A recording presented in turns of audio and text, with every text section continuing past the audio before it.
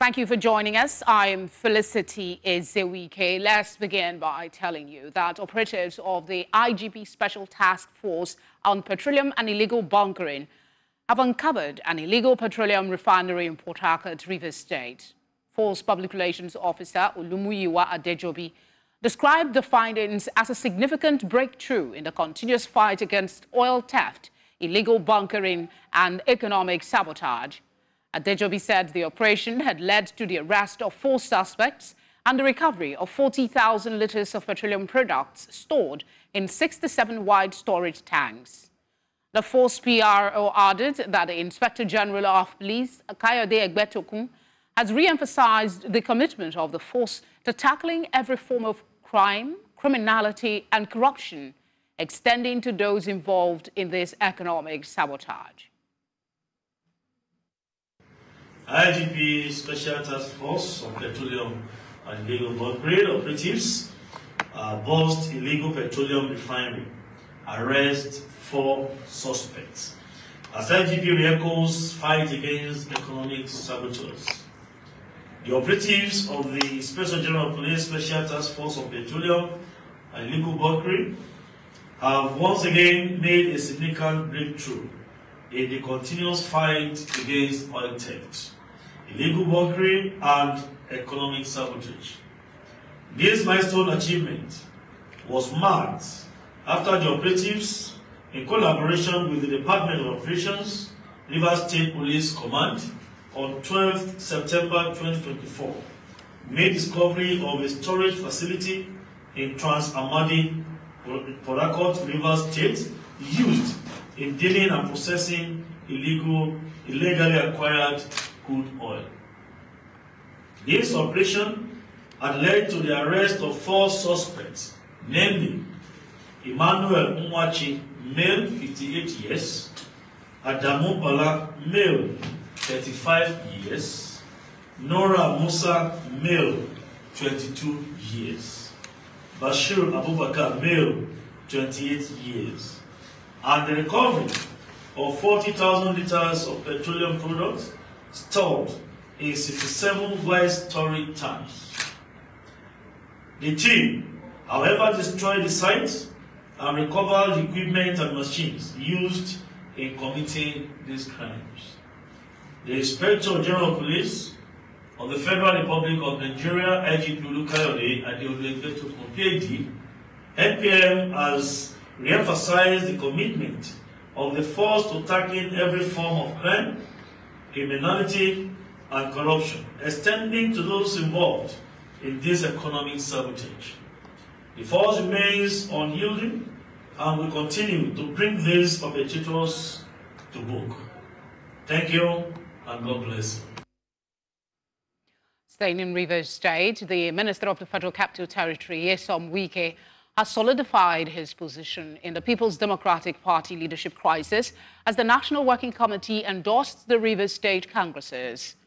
Wike's loyalists within the PDP and NWC not only secured the approval, but also postponed the National Executive Committee meeting originally set for September 26 to October 24, which could have overturned the decision. The PDP NWC, led by acting national chairman Umar Damagum, made this decision during a meeting at the party's national headquarters, Wadata Plaza in Abuja. The NWC meeting had been delayed for the past three weeks amid rising tension within the party, especially between a former Rivers State governor, Wike, and the PDP Governors Forum over the status of Rivers State party congresses. Joining us now to discuss this our special assistant to Governor Fubara on electronic media, Jerry Omoshe Gunwa, and human rights lawyer, Henry Ekini. Gentlemen, thank you for joining us. Yeah, good evening. All right, good evening. Uh, let's start with you, sir. What is your interpretation of events? Uh, can you confirm that the NEC meeting has been rescheduled and the NWC endorsement of the Rivers State con um, Congresses? Jerry, the question is for you, please. Okay. Um, first and foremost, I will say thank you very much for this uh, opportunity.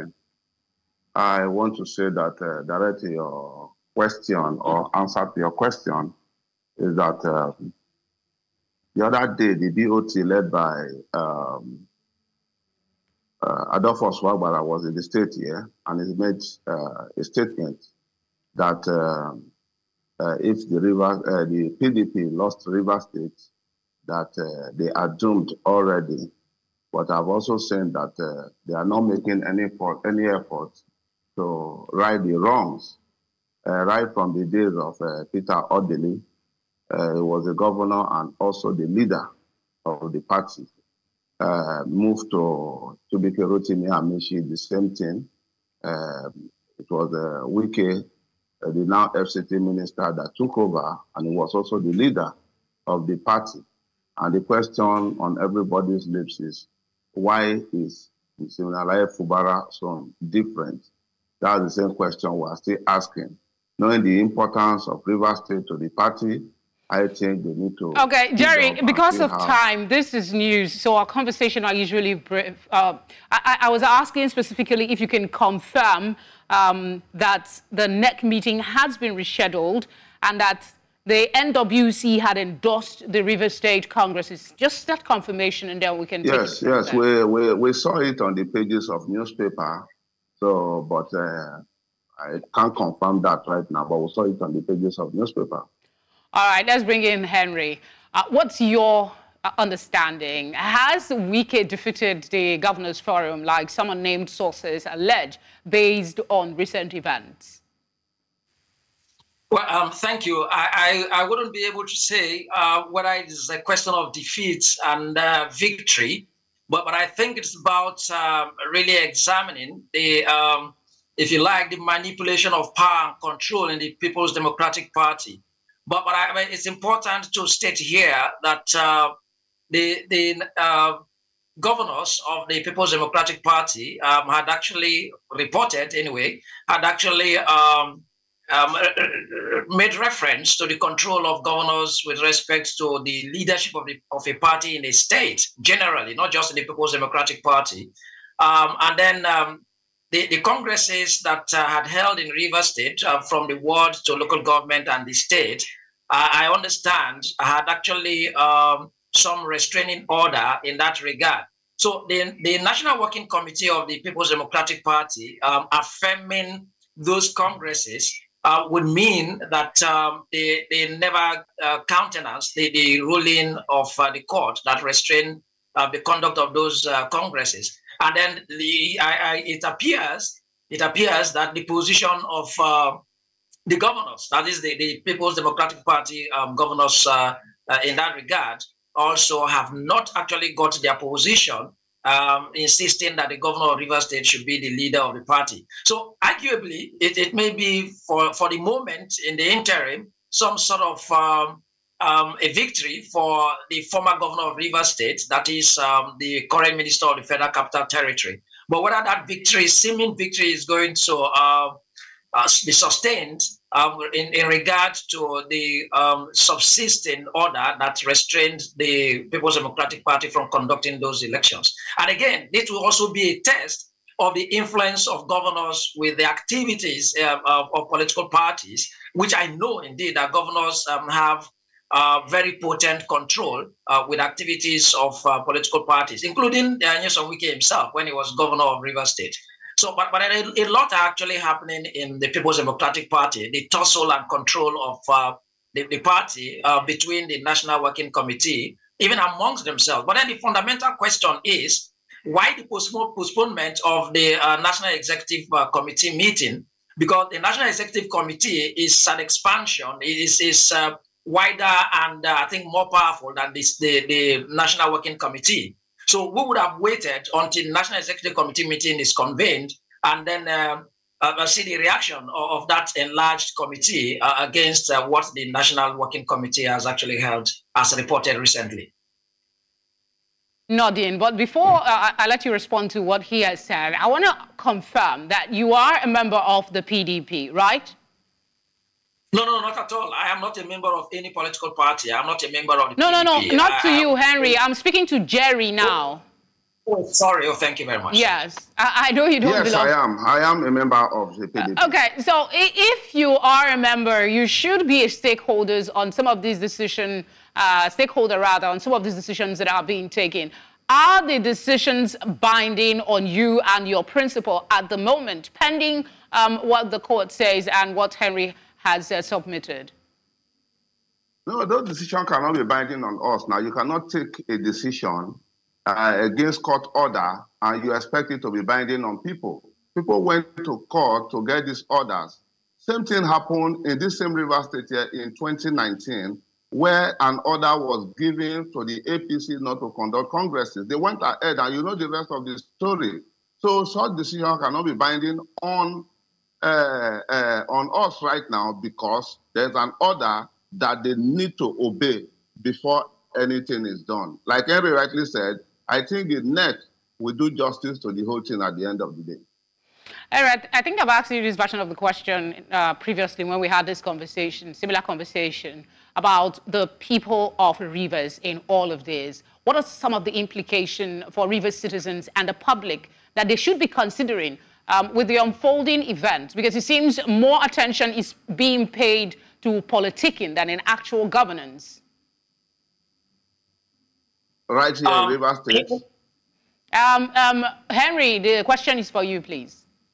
Okay. Okay, excellent. Uh, thank you. I, I I think in all considerations, whether with respect to the People's Democratic Party, the All Progressives Congress, or any other party, um, when when there there are um, such avoidable and unnecessary crises in political parties, and then the leaders of um, the state, and in, in essence any state in that regard, um, um, fail to differentiate between politics and governance and differentiate between internal crisis of political parties and the expanded expand, expectation of uh, citizens, then of course those um, that would suffer will be the citizens more. So I, I think I would say here in submission that um, the, the people um, expect more from government in terms of uh, the improvement and ex- uh, uh, their expectations in their welfare and then lives and uh, security of lives and property. That's fundamental. That's the primary purpose of government. So it doesn't concern us really and the, the greater proportion of the population of, uh,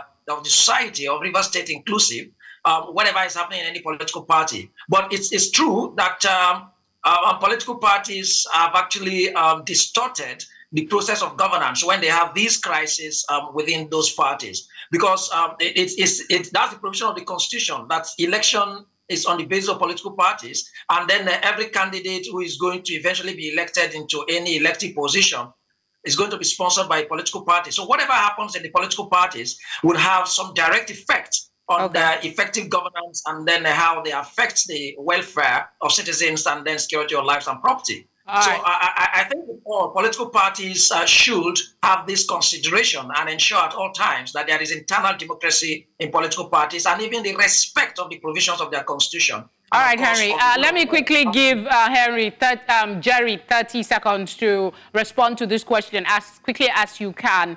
Um, uh, as of August 24, we know that the PDP governors publicly backed Fubara and called for a review of the congresses, the state congresses, and also affirmed Fubara's role as leader of the PDP in the state. Has anything changed since Yeah. then?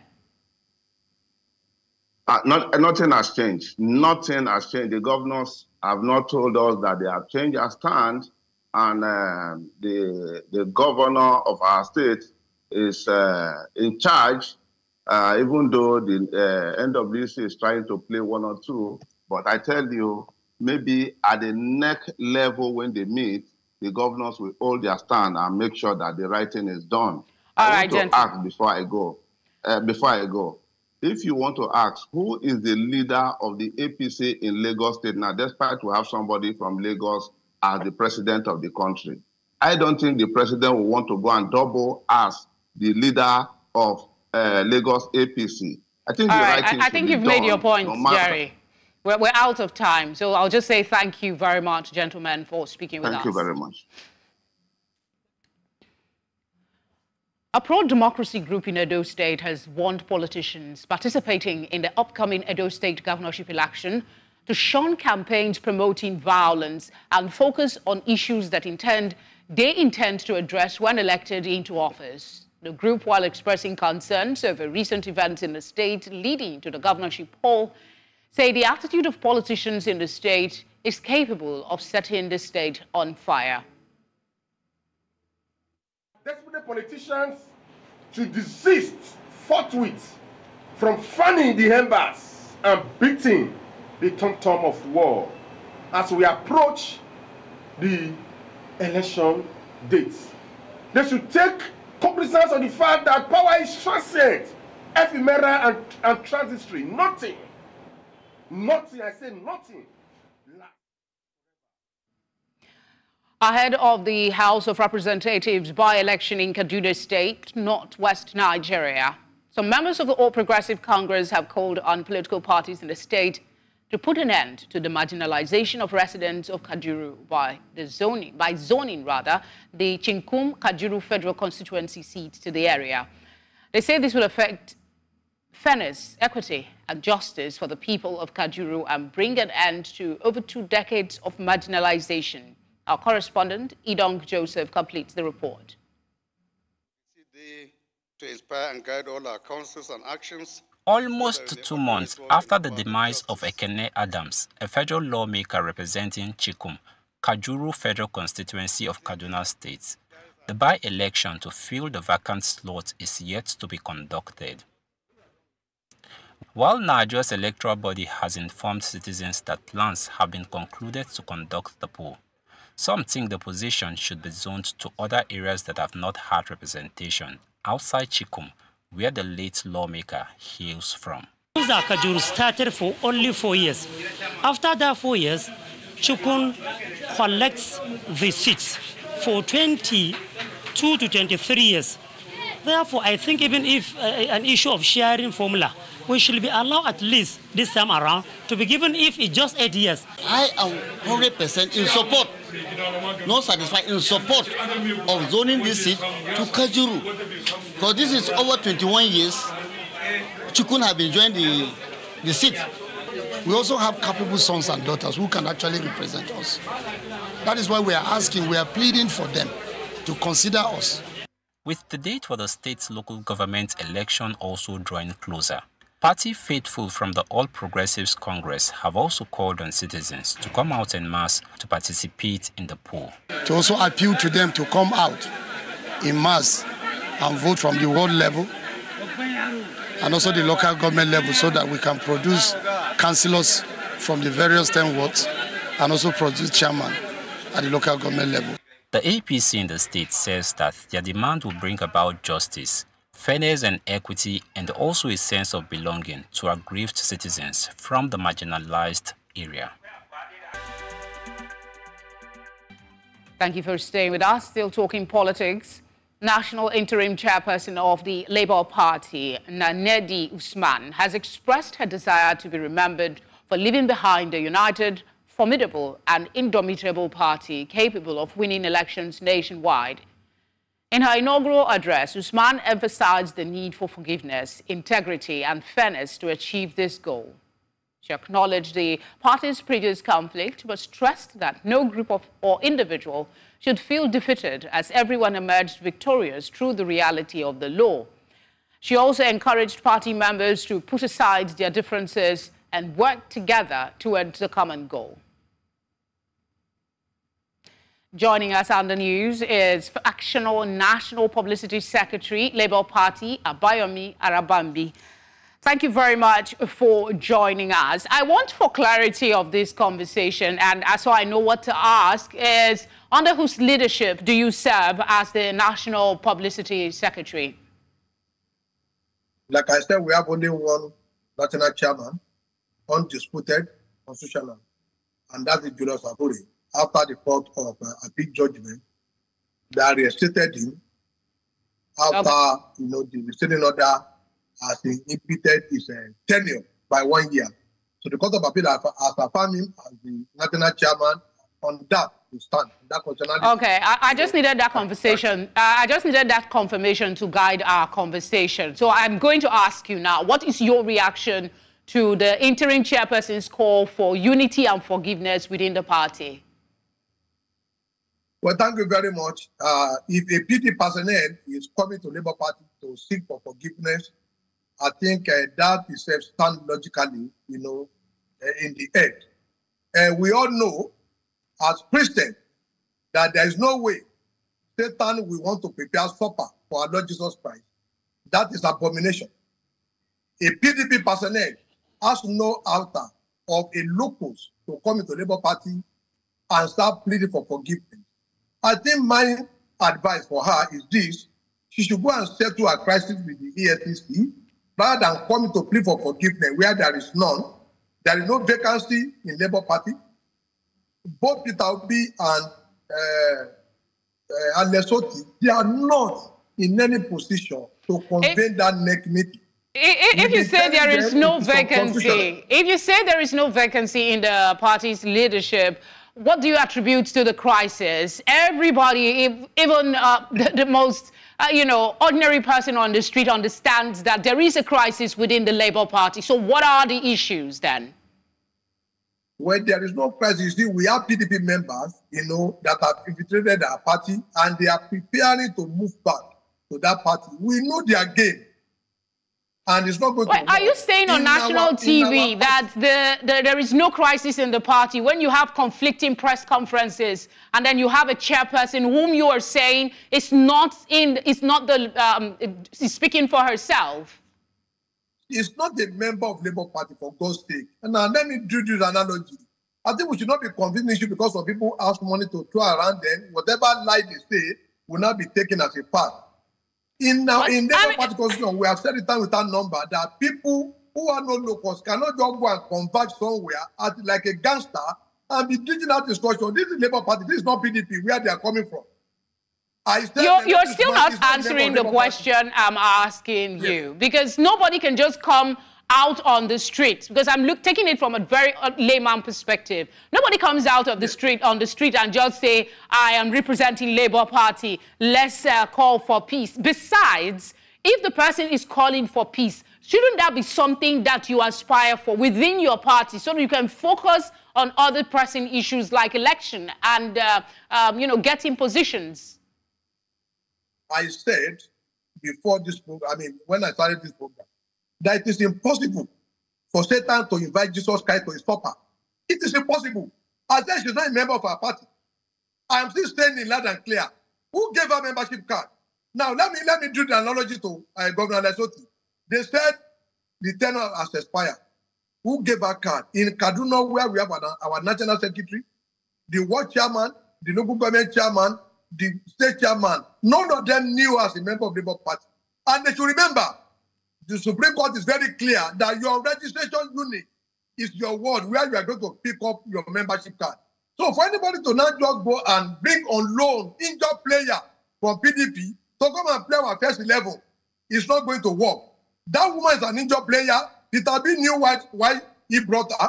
But as far as we are concerned, I will say constitutionally there are no crisis in there. All right, I, mean, uh, no I, I, guess you, you, you, you can run with this because we don't have somebody from another camp to speak on behalf of that camp. However, there is something I'd like to ask you here. In all of these issues, you know, it seems um, you're a national publicity secretary. Aren't you concerned concerned about the impact of these crises because you choose not to call it a crisis, but it is a crisis from where I'm sitting. What do you want the ordinary Labour uh, Party member to feel and to take out of this? Is all That's well with the party? Should they continue to support the party? Where are their interests? Well, every Nigerian that want the unity of Nigeria, that takes Nigeria unity, you know, uppermost in their mind, we support the constitutionally elected Labour Party officials this other group of people, they, I said they have their mindset towards 2027. And let me open it up. All they wanted was to decimate Labour Party, come 2027 for PDP. Today, everybody knew Peter Obi had been romancing with Kwankwaso, with Atiku, over Maja. There, was a time you romanced with someone else as well. I I think I've spoken with you at some point, and your allegiances were slightly different. So you're calling the kettle black when you at some point No, Did I, something- I never romanced anybody. I, I never romanced anybody. I said during the president election, I voted for Peter Obi. I didn't vote. I didn't vote for uh, for Ebola Tinubu. Let every Nigerian know. I voted for Peter Obi, but we do not have a government candidate. And for voting for uh, Governor Akpabio, it should not be counted as a sin because in Rivers, Peter Obi endorses PDP. In Plateau, he endorses PDP. In Enugu, he endorses PDP. In uh, uh, in uh, Nasarawa, he endorses PDP. In uh, in uh, in uh, Oyo State, he endorses PDP. I- what I we don't think we've achieved much with this conversation. We have a, we have our candidate.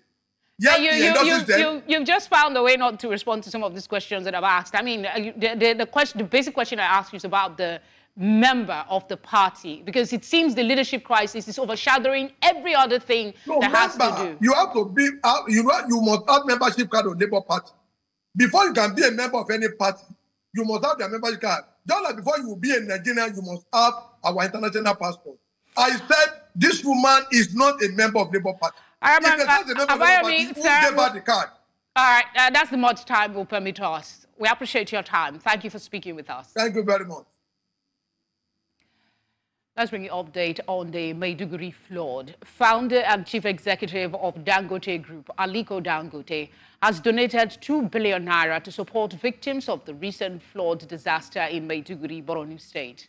Aliko Dangote made the donation when he visited Maiduguri alongside the governor of Nasarawa State, Abdullahi Sule, and a delegation from NNPC Limited towards hastening in recovery efforts. News Central's Umaru Kirawa reports that prominent Nigerian figures like business leaders and political figures have stepped forward to provide aid.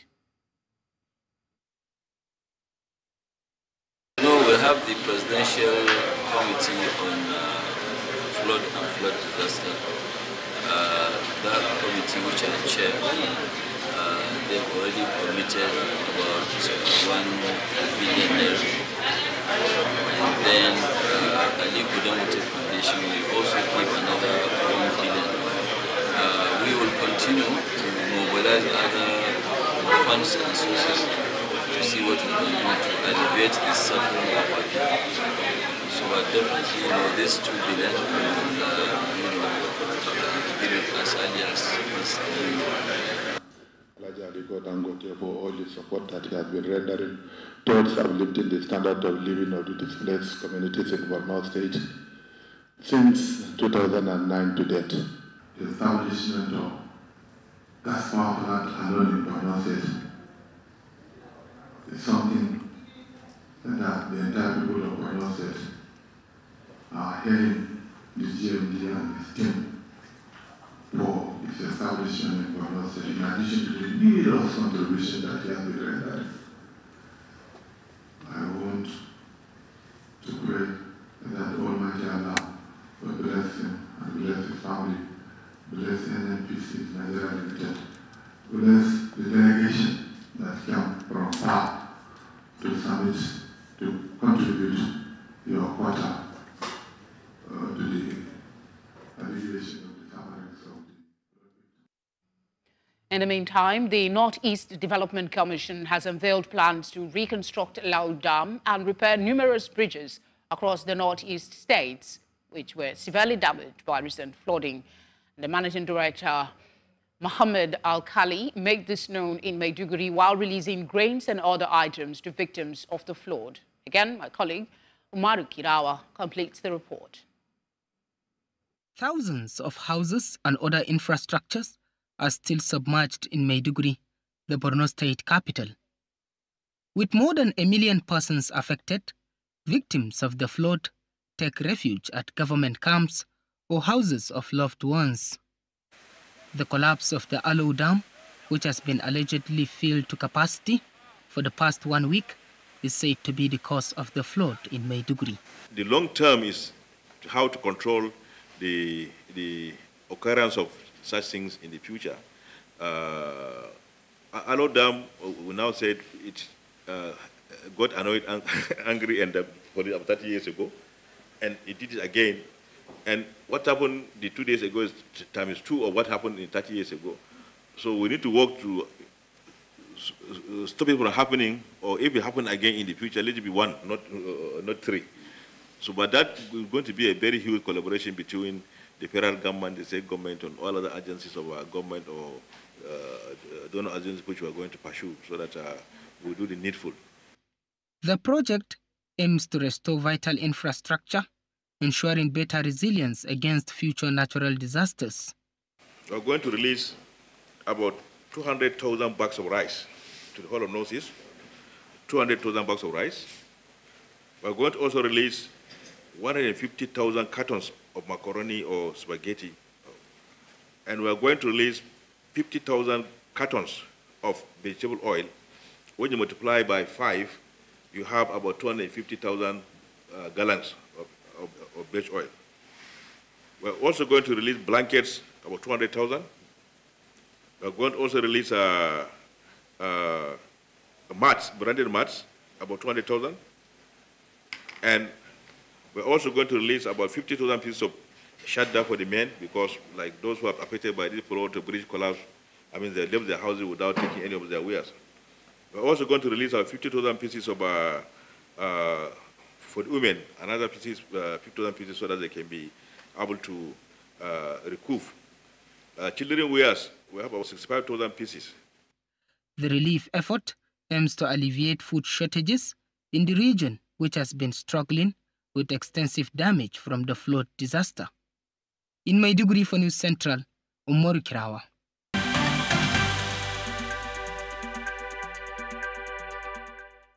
Three Americans among 37 defendants sentenced to death by military court on Friday for their role in a May failed coup in the Democratic Republic of Congo. Armed men briefly occupied an office of the presidency in the capital, Kinshasa, on May 19 before their leader, U.S.-based Congolese politician Christian Malanga, was killed by security forces.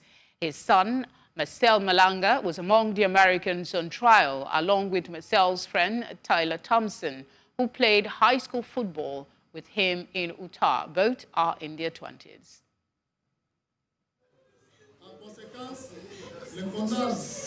de la manière ci-après. S'agissant du prévenu Marcel Malang, Mal, à la peine de mort pour association de malfaiteurs, à la peine de mort pour terrorisme, à la peine de mort pour attentat, à 20 ans de servitude pénale principale pour détention illégale d'armes ou munitions de guerre, faisant application de l'article 7 du Code pénal militaire, prononce l'unique peine, la plus forte, celle de mort, confirme sa détention.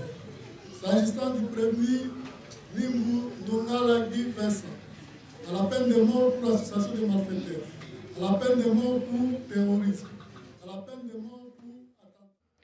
The remains of Aysenur Eygi, the Turkish-American activist who was shot dead in the occupied West Bank by Israeli soldiers, has arrived in her home country, Turkey. The 26-year-old was killed during a protest against Israel's war in Gaza. Her death raises questions of a potential regional conflict as Kiev vows to seek justice and the war's death toll continues to rise. News Central's senior international correspondent Adeshewa Josh has the latest from Istanbul. Isa Eygi's remains is received by Turkish Guard honor soldiers in Istanbul, a gesture Ankara often reserves for statesmen and military heroes. It's an indication that her death is deeply personal for the government. Tukri is a staunch supporter of the Palestinian cause and a vocal critic of Israel's Prime Minister Benjamin Netanyahu. yargı yetkisini kullanmamız gerekiyor. Burada Ankara Cumhuriyet Başsavcılığımız bu konuda yetkili. Ve Ankara Cumhuriyet Başsavcılığımız tarafından Ayşenur Ezgi Eygi kardeşimizin şehit edilmesi, katledilmesinden sorumlu olanlarla ilgili olarak bir soruşturma başlatmış durumdayız. Bu soruşturma kapsamında ilgili A graduate of the University of Washington, Aisha was born in Turkey in 1998, but moved shortly after to the US, where she took keen interest in political activism. Her parents say they welcome the government's investigation into her death.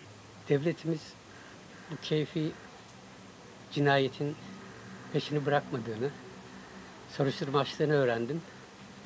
Çok mutlu oldum. İnşallah aynı şeyi Amerikan hükümetinden de bekliyorum. Çünkü Ayşe Amerika'ya gittiğinde 10 aylıktı. US President Joe Biden and Vice President Kamala Harris have condemned Aisha's killing, saying Israel must do more to make sure such an event never happens again. A rhetoric that's failed to stop Israel from pulling the trigger. At least 16 Palestinians were killed in Israeli attacks on the Gaza Strip today, including five members of the same family in Al Mawasi, bringing the death toll to 41,118 since the war began on October the 7th.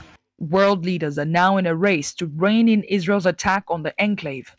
On Friday, Spain led a high level meeting of several Muslim and European countries on ways to end the conflict. Supuesto en torno a cualquier mesa en la que se hable de paz y de aplicación de dos estados y ojalá eso es lo que queremos, que un día veamos en torno a la mesa no solamente a los que estamos aquí, sino también a Israel hablando de paz y de la aplicación de los dos estados. It's a solution Prime Minister Benjamin Netanyahu rejects, suggesting Palestine's sovereignty is a threat to Israel's security leaving regional leaders unsure of how to end the conflict, while it continues to claim many more innocent lives in the crossfire. In Istanbul, Turkey, for News Central, Adeshewa Josh. Let's now join our business team for today's updates.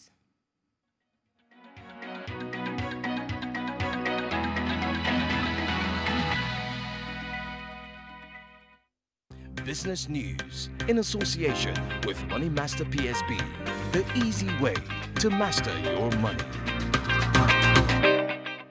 In business, Nigeria's Minister of Finance, Wale Edun, met with Guangzhe Chen, the World Bank's Vice President for Infrastructure, to discuss reforms aimed at enhancing electricity access and accelerating infrastructure development.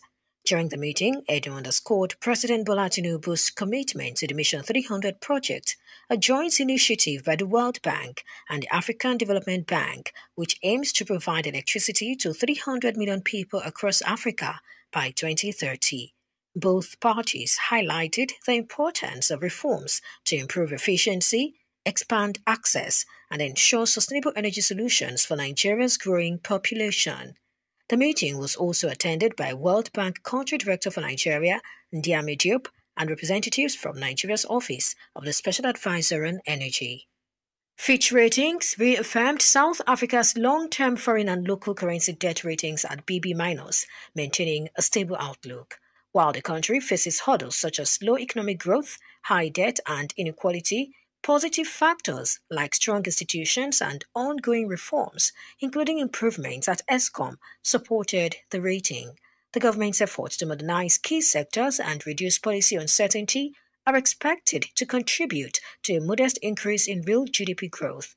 However, Fitch warned that continued progress on these fronts is essential to sustain South Africa's credit worthiness. Kenya's President William Ruto defended a bilateral deal with Germany, stating it would not lead to brain drain but help address youth unemployment. At a press conference in Berlin with German Chancellor Olaf Scholz, Ruto highlighted the Kenya Germany Comprehensive Migration and Mobility Partnership Agreement. The deal aims to formalize cooperation on labor mobility and provide opportunities for 250 Kenyan professionals in sectors like IT and engineering to work in Germany. Ruto reassured critics, emphasizing that Kenya's young workforce can meet both local industry needs and Germany's demand for skilled workers while reducing illegal migration. And finally, gold surged to a record high on Friday, rising 1% to $2,583.45 an ounce, building on Thursday's 2% increase. The precious metal is set for a weekly gain of over 3%, bolstered by expectations of a Federal Reserve interest rate cut next week. Gold has risen more than 25% this year due to central bank buying, strong haven demand from conflicts in the Middle East and Ukraine, and increasing retail investor interest. Traders are betting on a potential 50 basis point rate cut, which has fueled bullish positions in gold futures, driving prices to new highs. And that's our offering on business news at this time. Thank you for watching. I am Perpetua Fasame Peter. The news continues shortly.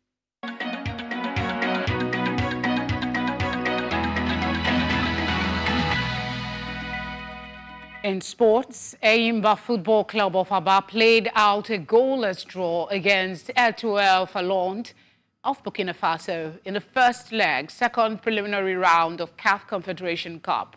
Let's now join Okweolua Adebari for more updates.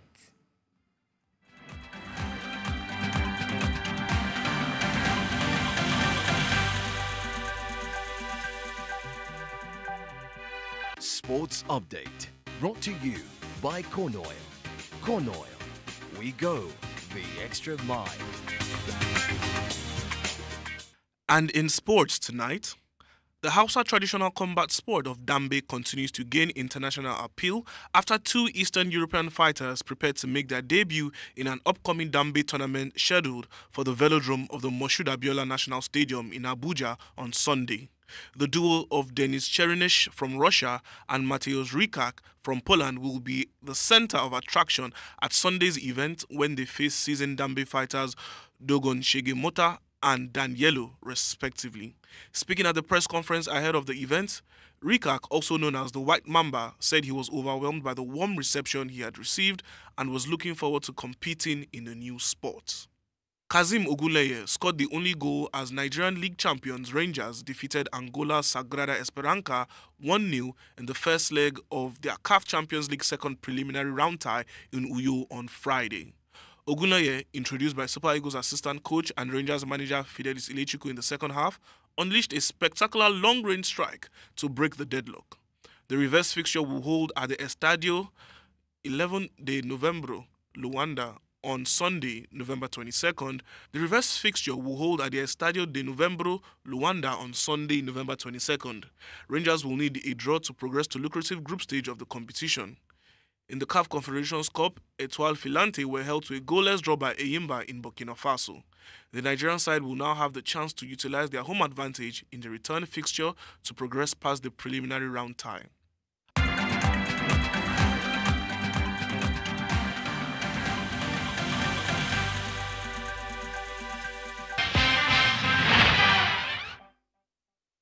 Entertainment news in association with Glow Unlimited. Tonight on Entertainment News, Nollywood actress Mercy Johnson has sparked controversy on social media after a video surfaced on September 13, 2024, showing her publicly endorsing the All Progressives Congress gubernatorial candidate, Senator Monday Okpebolo, in Edo State. In the video, she is seen standing on a campaign vehicle urging the crowd in Ward 6, Iruekwe, Isha West local government to vote for the APC. The act drew sharp criticism from fans on social media, where users expressed disappointment and outrage over her support for the ruling party. Many accused her of using her celebrity status to influence the public for public gain, disregarding the ongoing hardships faced by the country under the APC leadership. The criticisms reflected a broader frustration with celebrities aligning with political figures, with many perceiving such action as opportunistic and disconnected from the everyday struggles faced by ordinary Nigerians. Reggae icon and UN ambassador Rocky Dawuni has made an urgent plea to Ghanaians to take a stand against illegal mining, or galamsey, which is destroying the country's water bodies and ecosystem. In a September 2024 interview, Dawuni expressed deep concerns over the environmental damage and long-term health risk posed by toxic substances like mercury and cyanide contaminating the food chain and water supply. He emphasized the global attention of Ghanaians' environmental crisis and urged collective action action to stop Galamsey, warning that it is robbing the nation of its future. Dawuni's call aligns with other prominent voices, including the Trade Union Congress, which has threatened protest if the government fails to address the issue by the end of September. That's all on Entertainment Tonight.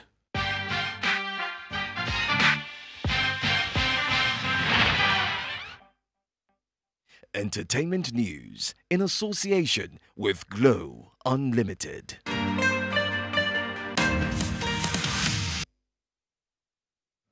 And that's all tonight. But before we go, let's take another look at some of the major stories.